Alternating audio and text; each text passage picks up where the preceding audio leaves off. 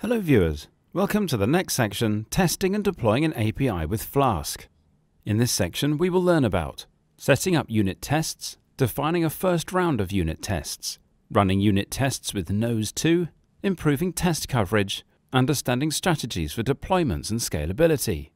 Now we move on to the video, setting up unit tests. In this video we will install the Nose2 and Cov core packages in our virtual environment. Then we will create the configuration file for the testing environment. Open the command prompt and make sure you quit the Flask's development server. Remember that you just need to press Ctrl and C in the command prompt window in which it is running. Now we need to install the Nose2 package by executing the pip install command. The highlighted lines of the output will indicate that the Nose2 package has been successfully installed. We just need to run the pip command to install the Cov core package that will also install the coverage dependency. The highlighted lines for the output will indicate that the Cov core package has been successfully installed.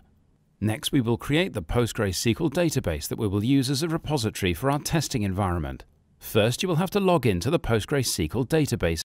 After that, we will create new database named test messages. Note that the command won't generate any output. Now we will run some SQL statements to grant privileges on the database to a user. Let's execute the grant all privileges command to achieve this. The privileges have now been granted. Then enter slash q to exit the psql command line tool. You have to replace your username with your desired username to use in the new database and password with your chosen password. We have used the username and password which is already in the Flask testing configuration. Open the API folder and create a new testconfig.py file. The testconfig.py file has now been created.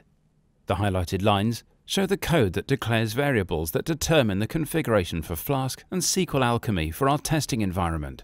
The SQLAlchemy database URI variable generates a SQLAlchemy URI for the PostgreSQL database that we will use to run all the migrations before starting tests. Make sure you specify the desired test database name and the value for DB name and that you configure the user, password and host address based on your PostgreSQL configuration for the testing environment. In this case, we will type the username as test2 and type the password abc at the rate 123, and in the host address, we will use the default value as it is. Finally, use the database name as test messages. We will now save the file to keep the changes.